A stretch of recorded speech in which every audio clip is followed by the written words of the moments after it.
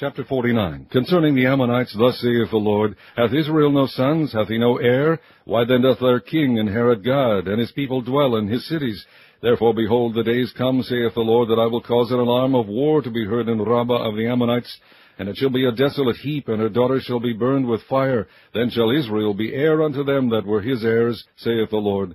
Howl, O Heshbon, for Ai is spoiled. Cry, ye daughters of Rabbah, gird you with sackcloth, lament and run to and fro by the hedges. For their king shall go into captivity, and his priests and his princes together. Wherefore glorious thou in the valleys, thy flowing valley, O backsliding daughter, that trusted in her treasures, saying, Who shall come unto me? Behold, I will bring a fear upon thee, saith the Lord God of hosts, from all those that be about thee. And ye shall be driven out every man right forth, and none shall gather up him that wandereth. And afterward I will bring again the captivity of the children of Ammon, saith the Lord. Concerning Edom, thus saith the Lord of hosts, Is wisdom no more in Teman? Is counsel perished from the prudent? Is their wisdom vanished? Flee, turn back, dwell deep, O inhabitants of Dedan, for I will bring the calamity of Esau upon him, the time that I will visit him. If grape gatherers come to thee, would they not leave some gleaning grapes? If thieves by night, they will destroy till they have enough. But I have made Esau bare, I have uncovered his secret places, and he shall not be able to hide himself. His seed is spoiled, and his brethren and his neighbors, and he is not.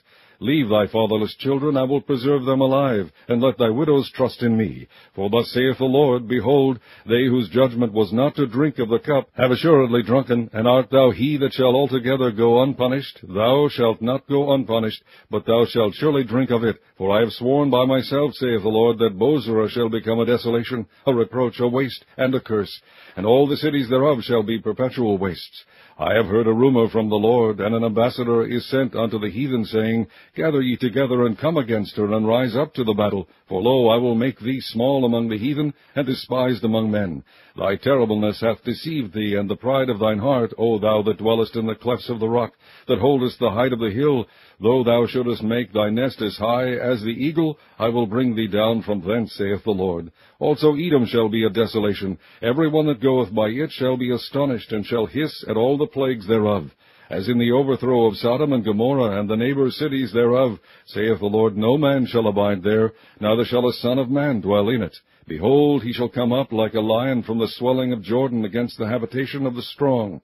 But I will suddenly make him run away from her. And who is a chosen man that I may appoint over her? For who is like me? And who will appoint me the time? And who is that shepherd that will stand before me? Therefore hear the counsel of the Lord that he hath taken against Edom, and his purposes that he hath purposed against the inhabitants of Teman. Surely the least of the flock shall draw them out. Surely he shall make their habitations desolate with them. The earth is moved at the noise of their fall. At the cry the noise thereof was heard in the Red Sea. Behold, he shall come up and fly as the eagle, and spread his wings over Bozrah. And at that day shall the heart of the mighty men of Edom be as the heart of a woman in her pangs. Concerning Damascus, Hamath is confounded, and Arpad, for they have heard evil tidings. They are faint-hearted. There is sorrow on the sea. It cannot be quiet. Damascus is waxed feeble and turneth herself to flee, and fear has seized on her. Anguish and sorrows have taken her as a woman in travail. How was the city of praise not left, the city of my joy? Therefore her young men shall fall in her streets, and all the men of war shall be cut off in that day, saith the Lord of hosts.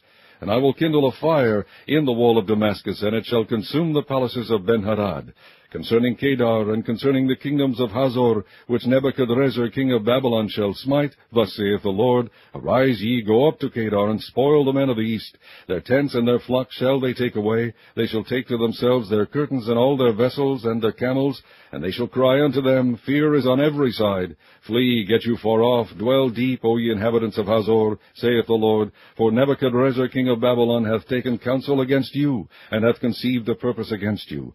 Arise, get you up into the wealthy nation that dwelleth without care, saith the Lord, which have neither gates nor bars, which dwell alone. And their camels shall be a booty, and the multitude of their cattle a spoil, and I will scatter into all winds them that are in the utmost corners, and I will bring their calamity from all sides thereof, saith the Lord. And Hazor shall be a dwelling for dragons, and a desolation for ever. There shall no man abide there, nor any son of man dwell in it. The word of the Lord that came to Jeremiah the prophet against Elam in the beginning of the reign of Zedekiah king of Judah, saying, Thus saith the Lord of hosts, Behold, I will break the bow of Elam, the chief of their might. And upon Elam will I bring the four winds from the four quarters of heaven, and will scatter them toward all those winds. And there shall be no nation whither the outcasts of Elam shall not come. For I will cause Elam to be dismayed before their enemies, and before them that seek their life.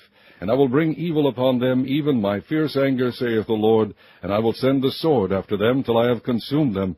And I will set my throne in Elam, and will destroy from thence the king and the princes, saith the Lord. But it shall come to pass in the latter days, that I will bring again the captivity of Elam, saith the Lord.